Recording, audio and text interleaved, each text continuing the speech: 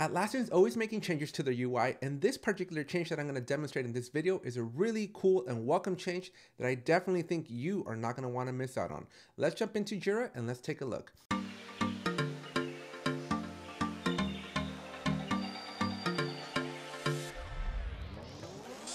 But before we do, make sure you hit that subscribe button. Make sure you check out those links down in the description as I have merch store and I have paid courses and a bunch of different ways that you can help support this channel, including a membership so that I can help you with your Jira problems. All right, let's jump into Jira and let's take a look. So if you're in a Scrum or Kanban board, you know that you can change the lanes. You know that you can change and manipulate the swim lanes, which basically means I can alter the way these stories that are in my sprint are viewed. Now, this is not new. In fact, I'm going to take a second here to show you the traditional way of altering your swim lanes because it is, I wouldn't say it's an involved process, but it does require you to know where and how to do this. And let me show you an example.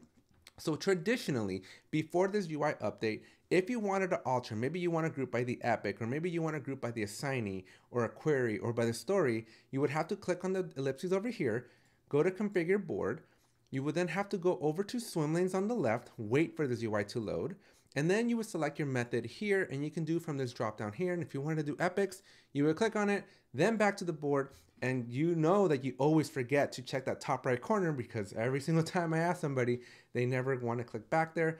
And so it's a little bit annoying to get to this result where you now have your swim lanes, your horizontal lines broken up by epic. But wouldn't it be cool?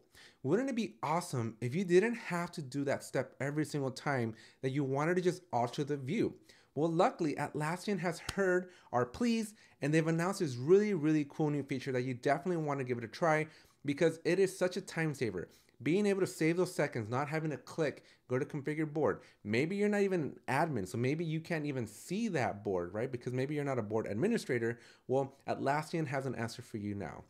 So it might not be in your Jira yet, but keep your fingers crossed and hopefully Atlassian will roll it out to you. This is something that is being gradually rolled out. It is not in all of my Jira projects, so definitely keep an eye out for it. And when it is, shout with excitement. Let me know in the comment section if it is enabled in yours, because I'm curious to see how many Jiras have it and what Atlassian's rollout looks like. So let me know in the comment section if you already have this group by feature. But let's talk about it. So what exactly am I talking about? So if you look in your board right here next to insights below the number of days remaining in your sprint, you're going to notice that you have a brand new group by button. And when you click on this button, you're gonna be able to basically see the same options that we have inside of that configure board without, very important, without having to go into that and without needing to be a board administrator. So now quickly, just by clicking buttons, I can simply change it to assignee. Maybe I can change it to my stories or I can change it to projects, whatever makes sense. But all those options that were over there are now available with a very simple drop down. And this, my friends, is basically coming straight out of the team managed and those Jira work management projects where you can manipulate that grouping in the UI. So um, this is a very, very, very welcome change that Atlassian has brought over to these company managed Scrum and Kanban boards. I very, very much welcome this change because again, it's saving me time and time is money. And any time that I can basically do this change or this manipulation without having to lose my context, right? Because when you're in the heat of the moment and you're trying to alter the view and you're trying to say, hey, well, which epics are in progress or or what what's the breakdown by assignee? And then you have to stop, go over to the configure board, change the setting, remember to hit the dumb back to board button, and then come back to the UI. That precious two, three seconds completely disrupted your context. You lost a train of thought, and it's just very disrupting. So this right here, my friends, is a very welcome change. I hope you have it. I'm hoping that it's in your Jira already, because especially if you're relying consistently on going to that configured board to change that grouping, you don't have to go there anymore. So this is a really, really cool change that quickly, quickly you're just able to change it very, very easily just by clicking around. And so that's it for this video. Very, very short ones. Just wanted to highlight this really cool new feature. And if you made it to the end of the video and you haven't subscribed to the channel, make sure you take a second here to subscribe to the channel.